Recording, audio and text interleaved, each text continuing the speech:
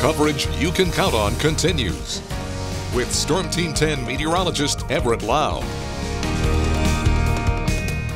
Good Saturday morning. We're taking a live look from our tower cam south of Brazil overlooking the interstate. Starting off with just a little bit of sunshine, but clouds are on the increase. We're going to see those clouds continually increase over the course of the day, and eventually we'll be seeing some rain showers across the Wabash Valley. Before this morning, if you have anything to do, you can get out and about. The rain will hold off until we get into the afternoon hours, it looks like. Overall, we're in for a cooler day with highs topping out in the lower 50s. Now, the pick of the weekend is definitely going to be tomorrow. We're going to see the sun return, temperatures climbing up to the lower 60s, so it's going to be a much nicer way to finish up the weekend than today. But again, for right now, we are dry to start the day. It is just a colder start. Temperatures down into the near the freezing mark in most spots. 31 in Paris, 31 also in Flora and Olney, 33 for Vincennes. It's 30 in Brazil, 29 in Terre Haute and Sullivan, and 31 right now in Loogootee. As we look at the Storm Team 10 Storm Tracker again, all quiet for now. The cloud cover has been increasing. A little more sunshine still farther to the east, but as we zoom out and look over here to the west, you can see the rain showers now starting to cross the Mississippi River into Illinois. So they're still a few hours away, so that's why you still have some dry time out there this morning if you want to get out and about,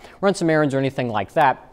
This line of rain showers looks to move in as we get into the afternoon hours. So until then, just notice the clouds increasing. Temperatures are slowly going to warm up. Really not because of the sunshine, obviously, because we aren't going to see the sun too much, but the southerly wind's going to start to pick up. It'll become breezy by the time we get to the middle of the day. So south wind at about 12 miles per hour by lunchtime upwards of 15 miles per hour around 3 o'clock. That's when the cold front's going to start to move through. You'll notice once we get between 3 and 6, the wind's going to shift and come out of the west and eventually northwest, so that'll start to bring in so a little bit cooler air, but really not going to drop our temperatures too much. In fact, tomorrow, going to be warmer thanks to the sunshine. But again, overall today, temperatures topping out in the lower 50s.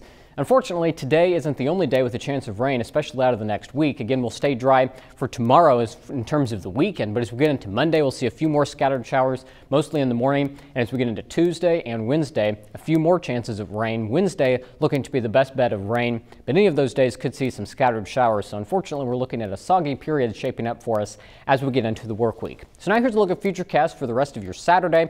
Again, the cloud cover going to be filling in as we go into the afternoon, but by the time we get to lunchtime, still dry. Rain showers just now starting to make it through central Illinois.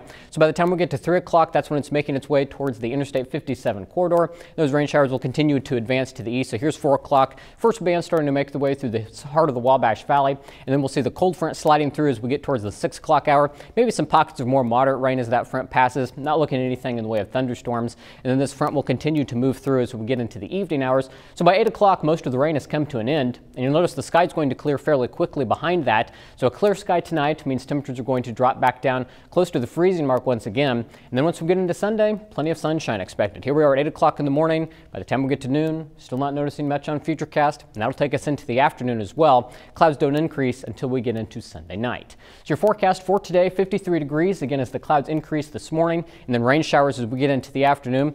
Southerly wind could gust up to 25 miles per hour at times, so again becoming breezy, especially as we get towards midday. Then for tonight, down to 34 as the sky becomes clear. Remaining breezy though after that cold front passes. We can see wind gusts as high as 30 miles per hour, especially closer to midnight. Then the wind will start to ease up a little bit as we go into early tomorrow morning. Then for Sunday, mostly sunny, highs topping out around 60, right where they should be for this time of year. So pretty seasonable day. Wind not as strong out of the west northwest at only 5 to 7 miles per hour. And as we look the next seven days, there are those daily chances of rain. I don't think it's going to be an all day washout though, so I wouldn't cancel any plans if you have them for next week. Just a few scattered showers. Wednesday looking like the best bet for some rain, and that'll cool off our temperatures as a cold front goes through back down to 48 next Friday.